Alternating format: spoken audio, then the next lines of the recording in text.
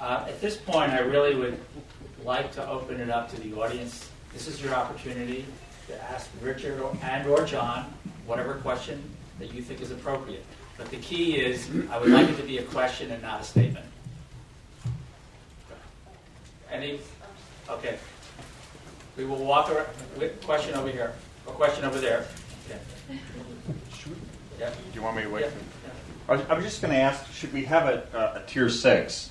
Because we've had, we had a tier one and added a tier two for a reason, et cetera. We're talking about pension. Pension, right, and should that, and, and in doing so, would that not um, free up money to be used for other services, like salaries? Identify yourself. Oh, I'm, I'm sorry, Peter Murphy? Peter, and who, is it the question to both of them, or? Yes, one- either one could. Okay.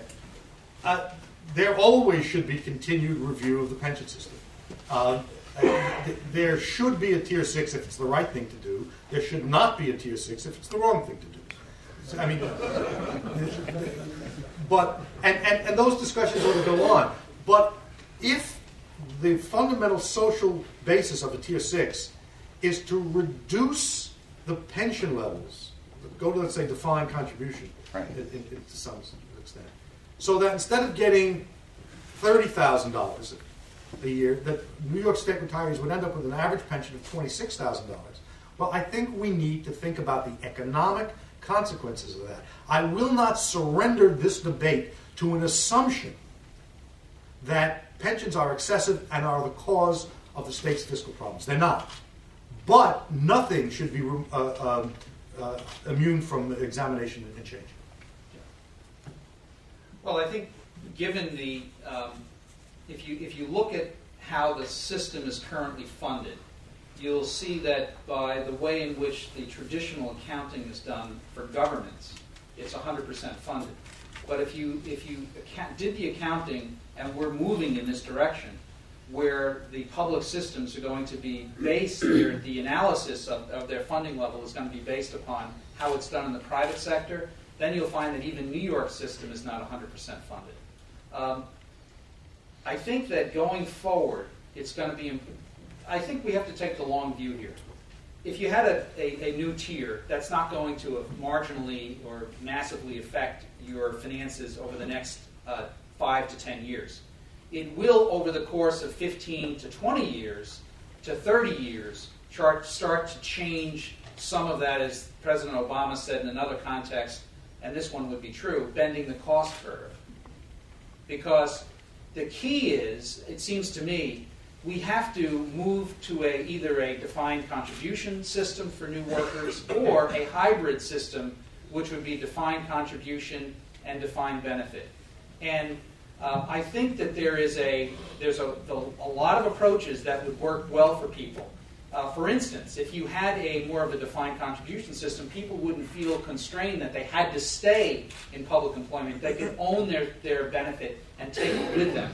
There's a very successful experience already here in, in the state that uh, the SUNY and CUNY professors use through TIAA-CREF and MetLife and other insurers where they, there are annuities that are the basis of their pension. This has worked extraordinarily well since the mid 60s. And there's no reason why it couldn't work for many uh, state workers as well going in the future. But pension reform, again, is something that we have to look at this. How do you change the cost curve in New York State over the long term? I remember 1980 like it was yesterday, 31 years ago. And you know, a lot of you are still going to be in the workforce or think nearing retirement 31 years from now. Richard and I probably won't be, although we might still be debating. But the question is, how do you how do you make New York so that it is more economically competitive with comparable states in terms of its costs? And by every measure, our costs and our expenditures are out of line with virtually every other state. That's what we've got to do if we're going to resuscitate the private sector economy and bring places like Buffalo and Elmira back to life.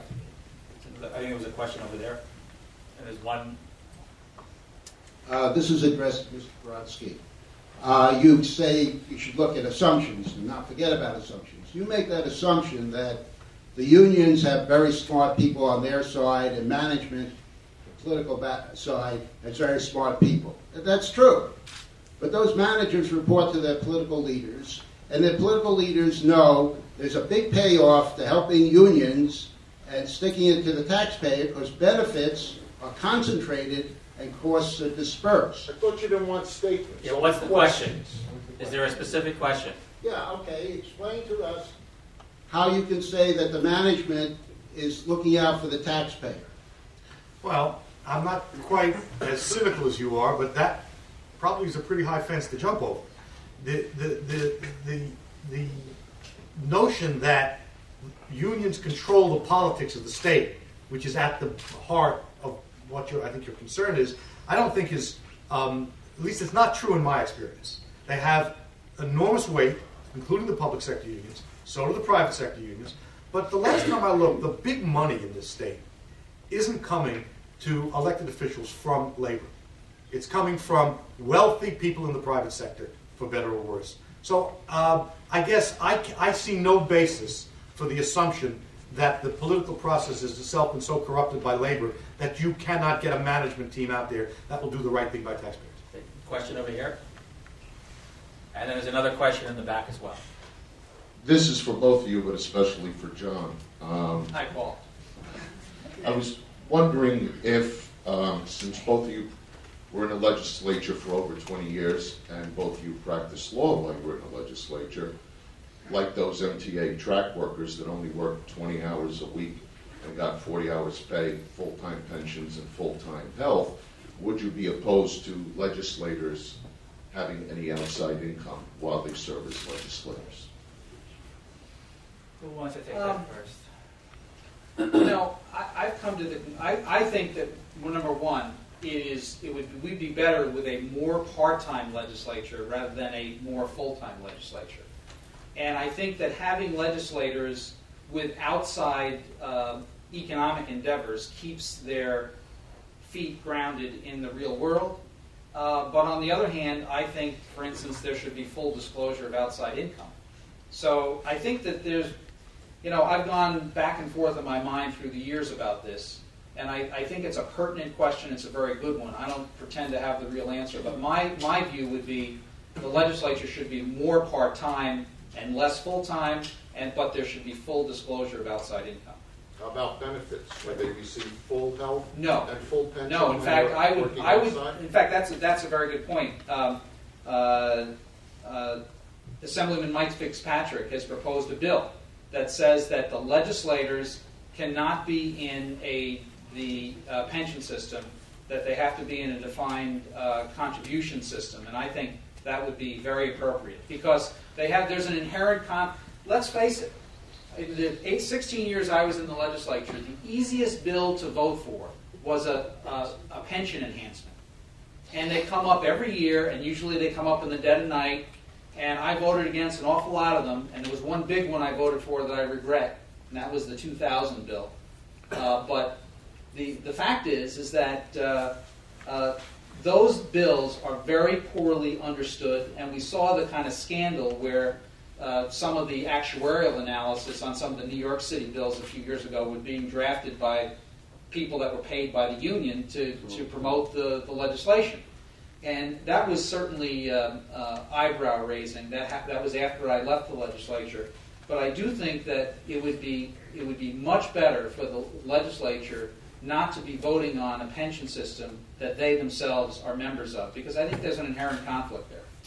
Richard, I think they're not, this question I was taking two parts. The first question is whether the legislature should be full-time or part-time.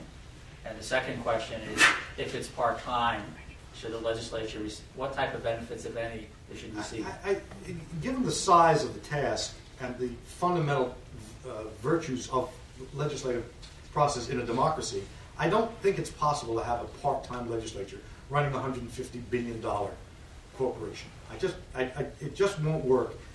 Wh- What's implicit in this is this, again, right-wing attack on legislative bodies. The term limits, uh, uh, uh, the, the general notion that the legislature is essentially corrupt while the executive branch isn't. You know, they took out in chains about a third of the governors in the, tri- in the tri-state area in the last 10 years, and, and, and no one ever says that the executive branch is inherently corrupt. Uh, the, the, the, so the, the real question underlying this is what do you want the legislature to do? And do you really want it to do it? And then you go to questions of compensation and uh, benefits. If lowering compensation will get you a more effective legislative presence, then we should do that. I doubt that's going to be the outcome.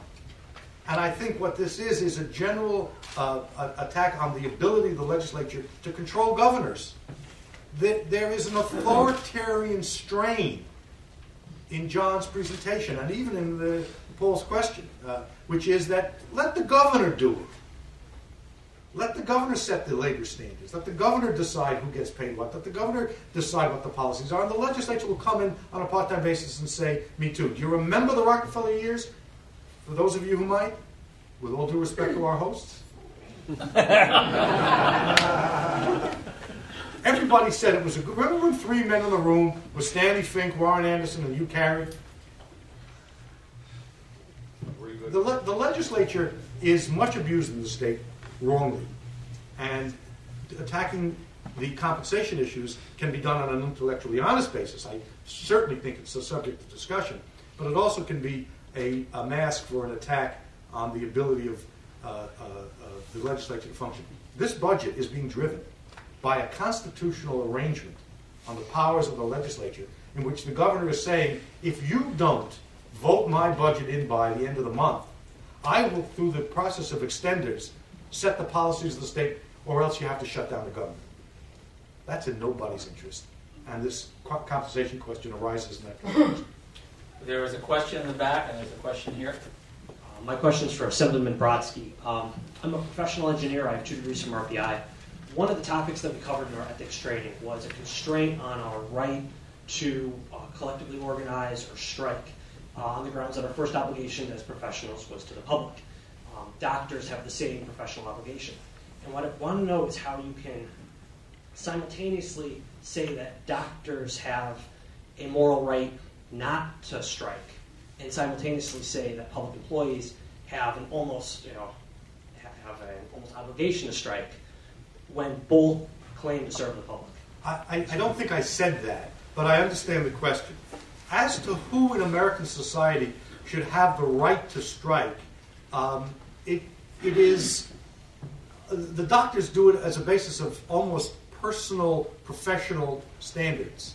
I know of no law that says doctors can't strike if those circumstances came up.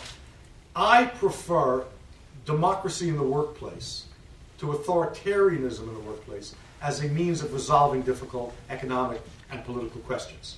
Uh, so, if doctors want to organize, and they have in, in, in some of the hospitals, and the society wants to either allow them to strike or not, we can have that debate. But if you forbid them to strike, you have to have a mechanism for resolving the fundamental questions that concern them that are not uh, merely do what the government tells you to do. This, uh, if I could just add, I, I, I really think this, uh, where Richard and I fundamentally disagree, is that, uh, and I certainly disagree with his characterization of my view as an authoritarian view. I think I've been quite clear in saying that the system has become so hidebound, so procedure driven, so difficult and cumbersome, both in our civil service laws and in our collective bargaining rules, that it's almost impossible to manage efficiently uh, at the governmental level. And we see this time and again. The Islip town supervisor was elected in 2009, a Democrat. He came in, he had a fiscal problem. They had 300 employees that were able to take town vehicles home at night. He wanted to, to say, you know, 100 of you or so can't do it. No, went to PERB, he lost. That was a term and condition of employment uh, as it had evolved. You have other situations where um, things become uh, decided as a union right or privilege when it's not even it's a custom or practice. It's not even decided by the the mayor or the chief executive uh, or the chief negotiator for the city. But these things become enshrined. Our system has gotten so difficult, and this was a perfect example. I, you didn't say anything about this um, on the 3020-a. I mean, there's no incentive for the teachers' union to settle these cases. They have no stake. They don't pay a nickel for the 3020-a proceeding. And what happens, you talk to any arbitrator, what happens is that you'll go through a day of hearings, and then there'll be an additional time necessary, and they look at their calendars and say, okay, two months, three months from then, and there's no incentive for the union to settle it, to get it over with, to conclude it, because they don't pay a nickel, their person is getting home, is paid sitting at home in the home version of the rubber room, and the chief school district has to pay that salary and benefits, and then they have to pay for a substitute. John, will you this is the system we have today. John, will you concede that Mayor Bloomberg and the Teachers Union of the City of New York found a way to negotiate a better system?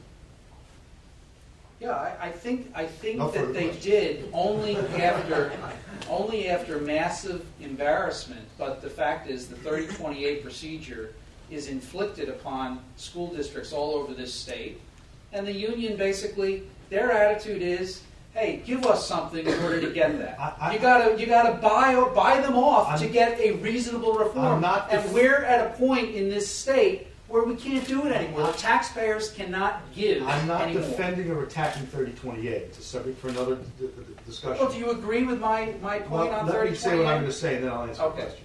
The, the, the, what I said was that the process for reform, which worked, involved bargaining, and it did. And it can work again in other places in the same way. And since the subject before the House this morning is the process of bargaining as a way to solve these problems, I just point out that your own example was resolved by my process. Do I think 3020-a works? No, I don't. I think we have another question here. Good morning. My name is Alexander Milkman. I have a question uh, which actually follows nicely from these last comments that deals with incentives. It's a question for Mr. Richard Brodsky, but uh, I'd be interested to hear a response from both of you. Um, you phrased a lot of your comments of, uh, in terms of values as opposed to economic issues and numbers, uh, which I think is important. But I think as a society, both as a nation and a state, uh, we, we're a meritocracy and we value um, uh, working for uh, working hard and, and uh, earning what you work for. I'm interested to know how you think that value fits into this equation um, and how we incentivize uh, these obviously important services that are demanded of, of uh, public workers, uh, the largest being teachers. Um, how do we incentivize uh, improved performance? Thank you. Well, uh, it's, it's, it's, it's, a, it's a wonderful question. And it's a wonderful question because uh, it is clearly a value that I would place within the equation of things that we have to sort out.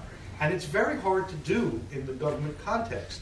I would point out to you that most people who enter uh, teaching, for example, do so not because their primary goal in life is to make money.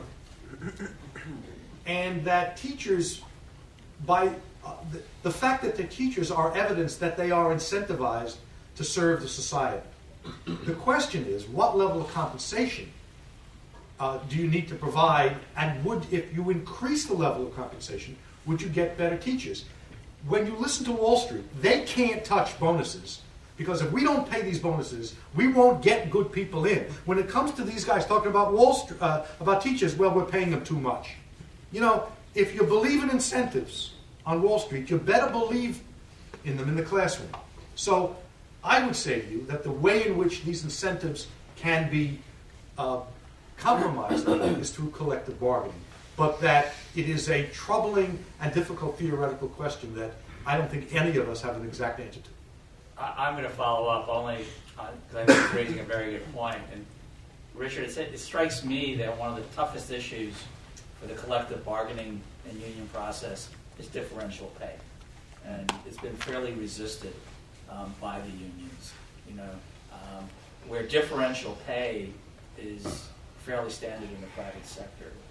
What, what are your thoughts about differential pay? Well, differential pay, differential tuition, those uh, kinds of things can make sense as long as they are not used by private or public management as reward and punishment. And we're in a period of transition. I think a lot of things that have been resisted, such as the, the pension abuses on uh, overtime, we're moving towards resolution of those things. This crisis will do that. I think it ought to be part of a, uh, an ongoing discussion, but with careful uh, consideration of its potential for abuse. Uh, I, I would just say, uh, I, I do think you need more private sector uh, pay incentives. I, I did not say in this debate, by the way, that I thought teachers uh, were overpaid.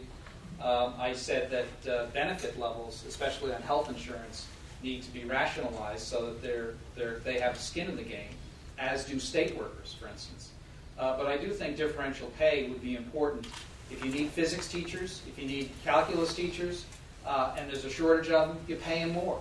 Right now, our system doesn't reflect the fact that we, we need to pay certain, to attract certain people, we need to pay them The, more. the problem is the, the, the mechanisms for measuring who gets the differential pay become extremely controversial and sometimes bizarre. Times had a story a, a couple of weeks ago about a young teacher who, because she was involved with a certain kind of student and whose test scores were not therefore going up, was deemed an unsuccessful teacher. Well, everyone knew that wasn't the case. The drive to standardization, we're going to use test scores to somehow justify the pay policies, is crazy. If you're at a school like Scarsdale, where the test scores are good for many reasons, including socioeconomic reasons, and you can't show that you've increased them, that would be, in some, by some people's measurement, a sign of being an unsuccessful teacher. So, the, again, the theory makes sense. We've got to find a way to do it in ways that don't give us an irrational. I, I, I actually agree with you. I don't think that uh, Wait, uh, wait. test Wait, wait a scores- I fully disagree with you. no, I, I don't think test scores alone uh, should be a basis uh, for compensation or evaluating someone's success for the precise reason you said. But there, we've got a system now where we've basically got a least common denominator approach toward evaluation. And we've got to move to something that's more flexible and market oriented and, and reflective of what the true needs are in government and schools. There's a question there, Mr. Shapiro. Thank you, First, uh, I I think uh, we all need to congratulate the hosts of this program for what should be an ongoing, regular format for discussing uh, major issues in the state. It was only a passing comment very early in the discussion. I want to make sure I heard it right. The federal government does not engage in collective bargaining for their employees. Was that correct? That's correct by and large for the It's vast not true, majority of John. their Not true at all. Well, you see, I, I guess we have a third participant. in the meeting. But, but, You have but, somebody that negotiated collective bargaining when he was a member of a federal union. I- I'm not disagreeing with you, sir. I'm only asking a question, please. Don't beat me up. Richard did that for a lot of years. The- But if our largest government does not engage in collective bargaining and does not permit strikes for many of their employees, what would be your view about changing that system? If that were to be true, then they're wrong. What are the facts? But uh, the facts are that there's a, there's a crazy quilt pattern that is not uh, uh, exact in every state or in every uh, federal agency. They, there's no collective bargaining in the military. There is collective bargaining in, in, in, the- in, in other places, including the post office and places like that. But, but the, it's the principle that ought to be focused on. I believe that it ought to be extended where it is not and rationalized. Not, I, I am not a defender of the status quo. I want that very clear. I'm not a defender of the status quo tax-wise, or the defender of the status quo spending-wise, or the defender of the status quo in terms of the contours of collective bargaining. But what I am a defender of is the use of that process in American society to resolve economic questions that involve middle-class people. I see no alternative, and to the extent that there's a factual question about the federal government, we should resolve that, tho- those policies in favor of more collective bargaining. And he, and, and, and I, I would uh, say, well, Paula, to talk to you about that, because I, I would stand to be corrected if, if I'm uh, wrong, but I think for many public employees in the federal government, the collective bargaining doesn't exist. But I did want to share you a, um, a quote from a, a prominent public official in Wisconsin, speaking on this topic, said, "This sharing of powers in wage determination and conditions of employment through the negotiation process has in turn diminished public officials' authority in other areas of policy involving organized employees. The net effect has been to create what amounts a- to a two-chamber local government." And then he goes on to say, "The gravity of the challenge was recognized by some municipal officials at least 10 years ago but most of them took the position that to study the new phenomenon was to encourage it. As is usually the case, the ostrich stance was a mistake. When employee organizations suddenly burgeoned, municipal officials were not prepared with effective rejoinders before legislatures and in negotiations. That is from Frank Zeidler, the Socialist Party mayor of Milwaukee between 1948 and 1960. We have come full circle. Uh, There's a question here, and then there's a question there.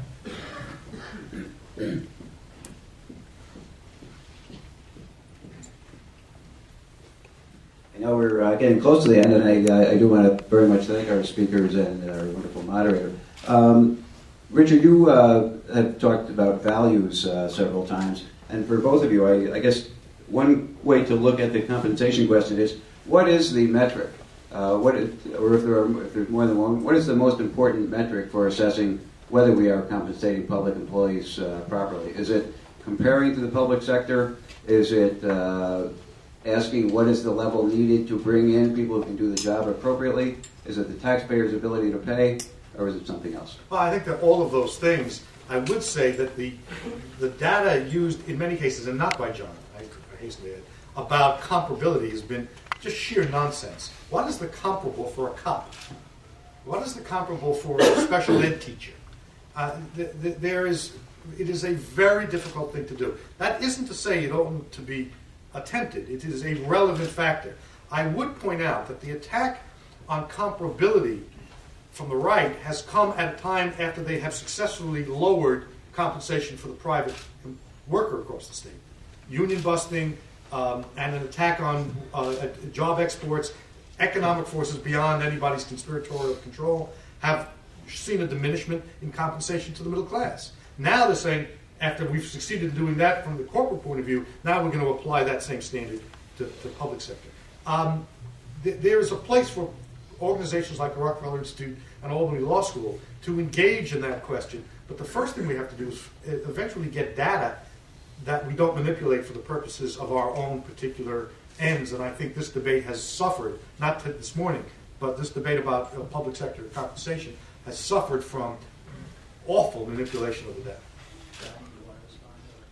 Um, I think all those factors should be used, and I, I think that we also need to, again, just because something was enshrined in law 30 years ago, or 20 years ago, or 50 years ago, doesn't mean it's doesn't mean that it meets the needs and requirements today. Ultimately, at the end of the day, the key for me is providing efficient public services while allowing the private sector economy to grow. Because ultimately, if we don't have a healthy private sector economy that produces wealth and jobs, we're just in a, in a zero sum game here in this analysis. And uh, our jobs are going to be leaving to other places, here and abroad. Okay, um, One last question, and I'm going to ask each of the speakers to sum up. It's a question for Mr. Faso, Richard Drucker. I- Bring it back to Wisconsin. Um, When the bill was introduced, and the one that uh, Governor Walker supports, there were two provisions in the bill. One was, I mean, there were many provisions, but two specifically that I want to talk about. One was the uh, provision that called for the decertification of the union uh, on an annual basis. Uh, and the second was um, for public sector unions uh, here in the state, there's agency fee, so everybody pays their fair share. Uh, in Wisconsin, they called for uh, moving to a system where individuals who were part of the union and derived services and were covered by the collective bargaining agreement would be able to opt out from uh, paying dues to their union. If you were a legislator, or still were a legislator in the state, the bill came before um, New York State legislators. Would you support a bill with those two provisions? And if so, how do those two provisions deal with the crux of what you were talking about earlier, which is the economic crisis that the state is facing? No, I, my, my response on that was that those wouldn't be things that I would advocate for in New York. But I do think that you have to realistically look at the existing structure, as I've, I've enunciated here this morning. And the existing structure that we've got, state and local, is simply unaffordable. So I, I don't think that necessarily this should be viewed as a, as something that would uh, require those kind of provisions in New York. I, I wouldn't, I wouldn't be advocating them, for instance. But I do think we ignore, at our peril, the real cost drivers that are, that are literally bankrupting communities in our state and turning much, many parts of the state into a wasteland unless we change the cost drivers in our economy.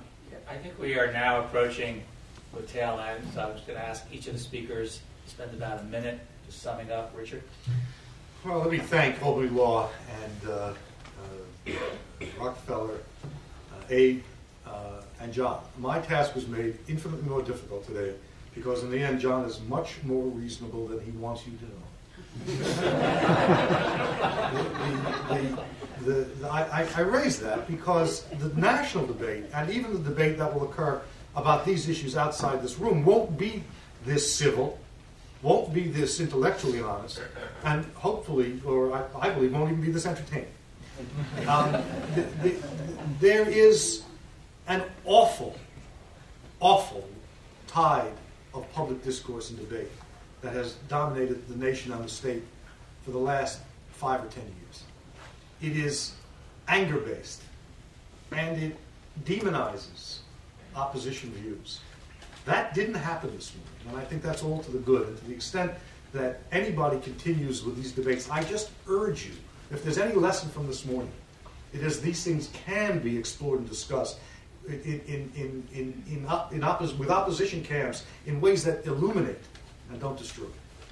But I do think that in the end, New York will not turn the way of Wisconsin.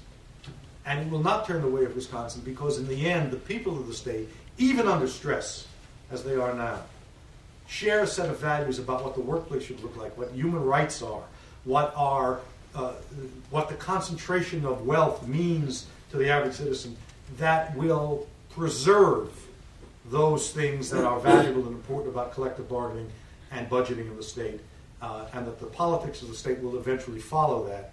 And to the extent that, as a member of the legislature, uh, a term of service of which I am intensely proud, uh, enabled me to express those views then, I was uh, pleased to do so, and I will continue to do so to the extent that I'm ever invited back. Thank you all very much.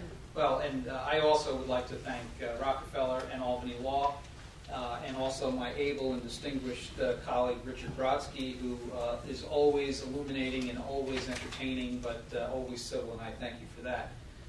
I think that the bottom line that I hope we all consider as we assess the various issues that we face is what kind of state do we want this to be uh, in 30 years? What kind of state will we have going forward? When I grew up uh, on Long Island in the 50s and 60s, my dad was a janitor at the Catholic grammar school where I went to school, and then he was a TV repairman. And my mom worked as a bank teller. And there were plenty of opportunities all around us. New York was a state that had 100 was the headquarters of about 150 Fortune 500 corporations. Today we're almost uh, about 40.